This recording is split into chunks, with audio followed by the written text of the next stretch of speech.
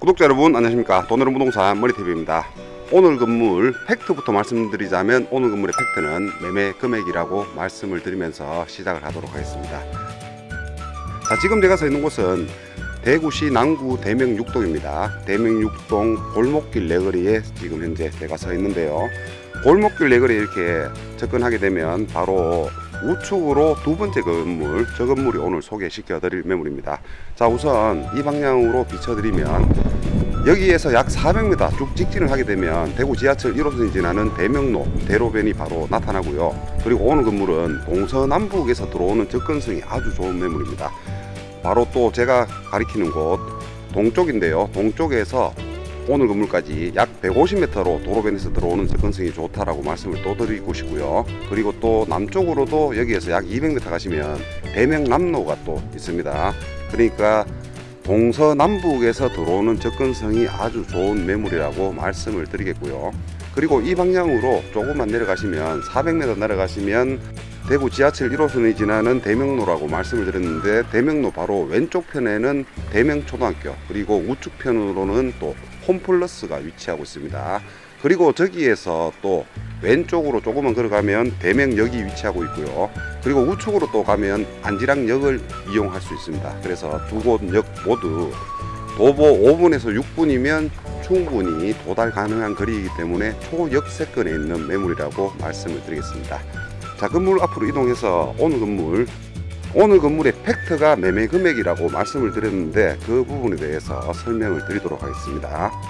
자 오늘 건물 먼저 실거래 신고 내용을 확인해 보시면 아시겠지만 오늘 건물 2021년도 4월 달에 6억 7천에 매수를 하고 필요 경비까지 계산해 보면 6억 9천인 걸 알 수 있습니다.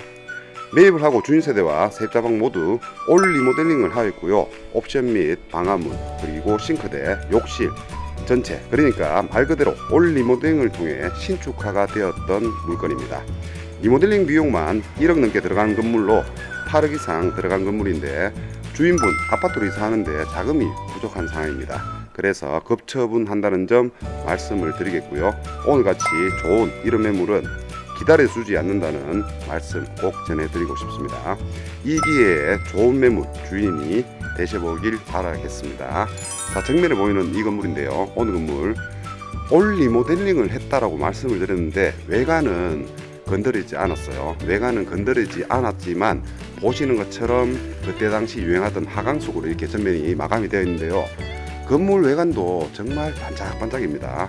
오늘 건물 사용 수임이 2007년인데도 불구하고 정말 깔끔하게 이렇게 외벽이 유지가 되고 있는 모습 확인이 가능하고요. 그리고 오늘 건물은 북도로를 이렇게 접하고 있습니다. 북 6m 도로를 접하고 있고요. 그리고 건물 좌측으로 또 이동을 해보면 건물 좌측에는 또 뒷집으로 들어가는 자도가 이렇게 구성이 되어 있습니다. 그래서 6m, 4m 정도 되는 코너 건물이라고 말씀을 드리겠습니다. 코너 건물이다 보니까 건물 전면과 좌측으로 또 양면 대리석 이렇게 시공을 한 모습이 확인이 가능하고요. 그리고 또 비가 오면 비가 많이 오면 창호로 물이 스며들 수 있는데요. 보시는 것처럼 아래 위로 대리석을 또 눈썹이라고도 하죠. 눈썹 대리석을 이렇게 시공을 해 놓은 모습 확인이 가능합니다. 그래서 또 창호 쪽에 비가 스며들지 않는 효과도 있는 건물이다 라고 말씀을 드리겠습니다. 자 그리고 보시는 것처럼 외벽에 이렇게 도시가스 배관이 이렇게 구성이 되어 있는데요. 도시가스 밸브를 확인해 보시면 오늘 건물 공실이 없다는 거 영상을 통해서 확인이 가능합니다. 자 그리고 오늘 건물은 보시는 것처럼 남쪽으로 2층 주택이 절비해 있습니다. 그래서 자, 영상에서 보여드리면 아시겠지만 4층 부분 가운데 창호가 보시는 것처럼 거실 부분인데요. 거실은 1조량 정말 충분한 거 영상을 통해 확인이 가능하고 그리고 1조량도 충분한 거 확인이 가능합니다. 2층까지도 이렇게 정말 1조량 풍부하게 들어온 모습 확인을 하실 수 있습니다. 자, 그리고 건물 후면부와 좌측, 아, 우측이죠. 우측 쪽에는 보시는 것처럼 또 적벽돌을 사용해서 건물 외관 깔끔하게 유지되고 있는 모습 확인이 가능하고요. 그리고 뒤편으로 이 공간은 조경이 심겨져 있었는데 조경을 못 다 뽑아내고 이 부분에는 또 인조 잔디를 또 설치해 놓은 모습 확인이 가능합니다. 자 오늘 건물 오늘 건물의 가구 구성부터 말씀을 드릴게요. 오늘 건물 1층에는 주차 8대로 구성이 되어 있고요. 2층은 미니투룸 4가구로 구성이 되어 있습니다. 3층은 원룸 한 가구에 쓰리룸 두 가구, 4층은 주인세대 단독으로 전체 8가구로 구성되어진 건물입니다. 그리고 2층 2층 4가구 중 한 호실은 근린생활시설로 용도 변경이 되어 있습니다. 용도 변경을 했던 이유는 단순 주택일 때는 또 대출 대출이죠. 융자 승계가 되지 않습니다. 그래서 근린생활시설로 용도 변경을 해놨기 때문에 대출 실행하는 데는 전혀 문제가 없는 건물이라고 말씀을 드리겠습니다. 자 가운데 쪽으로 보시면 현관문 주출입구가 이렇게 구성이 되어 있고요. 우측으로 주차 4대 그리고 왼쪽으로 또 주차 4대로 이렇게 구성이 되어 있습니다. 자 주차장 외벽과 그리고 주차장 바닥 그리고 또 청거 부분에 보면은 텍스죠. 모두 이렇게 새롭게 칠을 하고 텍스도 모두 새 것으로 이렇게 교체한 모습을 확인을 가능하고요. 그리고 또 군데군데 CCTV도 이렇게 되어 있습니다. 센서 등도 모두 LED 등으로 이렇게 교체한 모습을 확인을 하실 수가 있습니다. 자 그리고 안으로 들어가서 또 복도 내부와 세입자방 모두 또 리모델링이 되어 있다라고 말씀을 드렸는데 또 세입자방까지 보여드릴 수 있도록 하겠습니다. 현관문을 들어서면 바로 계단 10m로 넓은 공간 이렇게 구성이 되어 있고요. 우측으로 보시면 4채널 CCTV 잘 돌아가고 있습니다. 자 오늘 건물 타일은 손대지 않았다고 이제 얘기를 하시는데 정말 깨끗하게 이렇게 유지 보수가 잘 되고 있는 그런 건물이다라고 말씀을 드리겠습니다. 타일 깨짐 현상이나 들뜬 현상은 1층부터 옥상까지 전혀 없고요. 그리고 복도 청고에는 또 이렇게 CCTV 돌아오는 모습이 확인 가능합니다.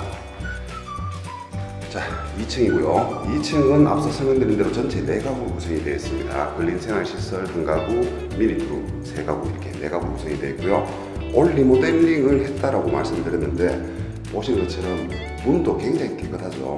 방화문도 모두 교체를 했다고 하니까 그 점 알고 가시면 도움이 되시리라고 봅니다. 자, 3층입니다. 3층은 2층하고 배율이 조금 틀리죠. 세 가구로 이렇게 구성이 되어 있습니다. 원룸 한 가구에 쓰리룸 두 가구 이렇게 세 가구 구성이 되어 있고요. 오늘 건물 쓰리룸은 굉장히 새가 잘 나갑니다. 그 이유는 바로 앞에 또 초등학교를 품고 있다고 말씀을 드렸는데 쓰리룸 신혼부부분들 그리고 한 자녀 있는 분들이 선호하는 집이죠. 그래서 쓰리룸은 굉장히 잘 나간다라고 말씀을 드리고 싶고 303호 지금 현재 전략적인 공실로 변하고 있는데요. 공실 하나 보여드리겠습니다. 자, 현관문을 열고 들었으면 바로 우측으로는 주방이 이렇게 분리가 되어 있는 구조다라고 말씀을 드리고 싶고요. 바로 앞에 냉장고도 놓을 공간도 충분하고 왼쪽으로는 신발장이 이렇게 구성이 되어 있습니다. 세입자들이 가장 선호하는 원룸 구조다라고 말씀을 드리고 싶고 바로 앞에는 또 이렇게 이중문이 설치가 되어 있습니다. 그래서 계단 소음도 훨씬 더 줄어들 것으로 보이시고요. 자, 방 구조도 요즘 신축 구조보다는 훨씬 넓게 이렇게 빠져 있습니다. 에어컨 또 옵션으로 들어와 있고요. 그리고 북쪽으로 보시면 또 이렇게 베란다가 따로 마련이 되어 있습니다. 베란다 쪽에는 옵션 보시는 것처럼 세탁기가 이렇게 구성이 되어 있고요. 세탁기 뒤편으로 또 보일러 이렇게 되어 있습니다. 오늘 건물 옵션도 약 2년 전 리모델링 하면서 새 것으로 다 교체를 했습니다. 그래서 가전 제품 교체할 필요도 없는 그런 건물이다라고 말씀을 드리고 싶고요. 모두 이렇게 리모델링을 통해서 깨끗하게 한골 탈퇴한 그런 건물이다라고 말씀을 드릴게요. 화장실도 보신 것처럼 또 타일도 모두 다 교체를 하고 바닥뿐만 아니라 청고 쪽에도 이렇게 모두 교체를 한 모습이 확인 가능합니다. 문도 전체 교체를 했다고 하니까 그 점도 말씀을 드릴게요. 자, 세자가 가장 선호하는 원룸 하나 보여드렸고요. 밖으로 나가보겠습니다. 자, 3층까지 확인을 시켜드렸고 마지막 또 4층 올라올게요. 자, 4층에는 보신 것처럼 주인 세대 단독으로 구성이 되어 있습니다. 주인 세대 영상으로 못 비춰드리지만 사진을 받아 놓은 게 있어요. 사진으로 대체해 드리겠습니다.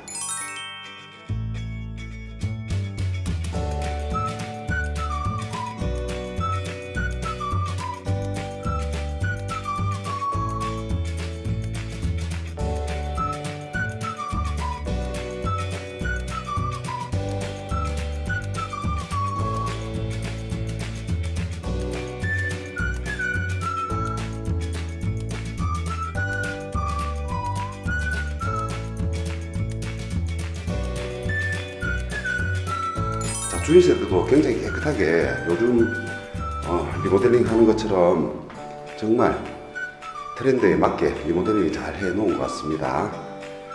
자 마지막으로 옥상 나가볼 텐데요. 바로 옥상 문은 이렇게 왼쪽에 하나 우측으로 하나 이렇게 양쪽으로 두 개의 문이 있습니다. 그 이유는 가운데 거실 청고를 충분히 높여 놓았기 때문에 양쪽으로 문을 내놓았고요. 자, 이 공간에 지금 현재 물품을 보관을 했는데 문과 문 사이 샤시 문을 하나 달고 창고 용도로 이렇게 사용하시면 좋을 것 같습니다. 자, 옥상에 나왔는데요. 옥상 문도 방암 모두 교체를 했습니다. 지레짐작 어, 짐작을 해보면 정말 오늘 건물 2년 전에 매입을 해서 리모델링 비용도 많이 들어갔을 것으로 보여집니다. 자 가운데에는 보시는 것은 이렇게 거실 청고를 높여 놓은 부분이 있다라고 말씀을 드렸죠. 그래서 문이 두 군데로 나와 있고요. 그리고 그때 당시 또 방수도 정말 깔끔하게 이렇게 정말 두껍게 했는 모습이 바로 영상에 나타나실 거예요. 정말 손을 많이 보셨다라고 말씀을 드리고 싶고 오늘 건물 주인 세대는 또 정남쪽을 바라보고 있습니다. 바로 남쪽으로는 앞산, 앞산이 이렇게 조망이 정말 좋죠. 바로 뒤편으로 보시면은 오늘 건물 바로 앞에는 2층 주택입니다. 그래서 조망권도 충분하고 일조량도 충분하다는 걸 영상을 통해서 확인을 하실 수가 있습니다. 오늘 건물이 위치하고 있는 곳은 대구 지하철 1호선이 지나는 대명로와 그리고 고압선도로 그리고 고압선도로 바로 위쪽에는 또 앞산순환도로가 위치하고 있죠. 그래서 교통이 아주 우수한 곳이다라고 말씀을 드리겠습니다. 그리고 홈플러스 및 관공서가 굉장히 많이 밀집이 되어 있는 곳입니다. 그래서 세입자분들도 또 이곳을 굉장히 선호하는 그런 곳이다라고 말씀을 드리겠습니다. 자 오늘 건물 매매 상세 내역 말씀을 드리겠습니다. 자 오늘 건물은 근린 생활시설 한 가구, 원룸 한 가구, 투룸 세 가구, 쓰리룸 두 가구, 주인세대 한 가구로 전체 8가구로 구성이 되어 있고요. 대지 면적 212.6제곱미터, 구단위로 64.31평, 건물 연면적 359.1제곱미터, 구단위로 108.62평, 사용승인 2007년 10월 11일 사용승인이 났고요. 난방은 도시가스로 되어 있습니다. 매매 금액 최초 9억이었으나 현재 7억 8천에 나와 있고요. 융자 2억, 보증금 2억 8,800, 인수금액 2억 9,200, 월수입 265만원에 은행이자 98만원, 은행이자를 공제한 월순 수익이 168만원 나오는 매물입니다. 주인 세대 보증금 2천에 80 놓았을 경우로 말씀을 드렸으니까 그 부분 알고 가시면 도움이 되시리라 봅니다. 자 오늘은 남구 대명 6동에 위치한 다가구 건물 하나 소개시켜 드렸습니다. 오늘도 시청해 주셔서 감사드리고요. 내일은 보다 더 좋은 매물로 찾아뵙겠습니다. 감사합니다.